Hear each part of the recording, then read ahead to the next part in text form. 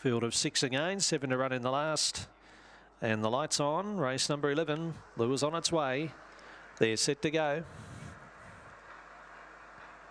Racing this time, and last out of boxes splits to burn. Good pace off. She's not normal. The inside leads Monkey Style by length and a half first turn.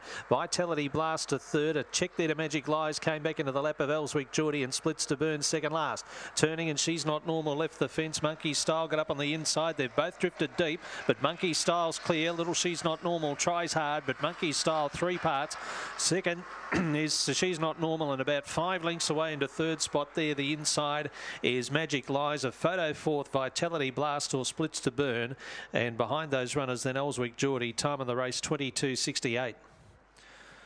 To the winner, Monkey Style for Chris Johansson at about $2.30 and two even. Both first and second covered a bit of ground up the straight, but Monkey Style got up on the inside and has kicked away to win. One, she's not normal second. Third will go to four Magic Lies. And uh, the fourth spot in the race was pretty tight. Uh, we'll have that uh, come up in just a tick here, but it's 2-1-4 into the frame. 2-1 and a 4 here. And the fourth number yet to show. 22.71 the run. 8.29 the sectional.